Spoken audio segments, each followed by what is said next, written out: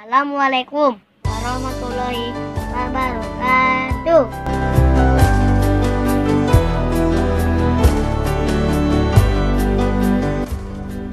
Kita harus mensyukuri apa yang ada.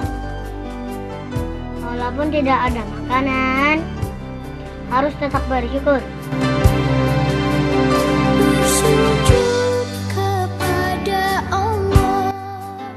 Bersyukurlah atas yang Allah telah berikan.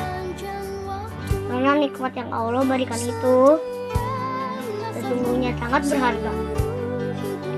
Manfaatkanlah kenikmatan itu dengan sebaik-baiknya.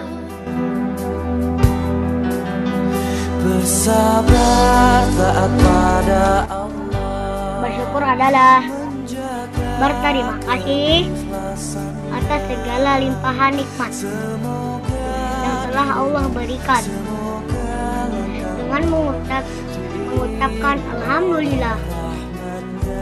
Surat Ibrahim ayat 7 yang artinya Barang siapa yang bersyukur atas nikmatku kata Allah Niscaya aku akan menambah nikmat itu Akan tetapi Barang siapa yang kufur atas nikmatku kata Allah maka azabku sangatlah pedih. Assalamualaikum warahmatullahi wabarakatuh.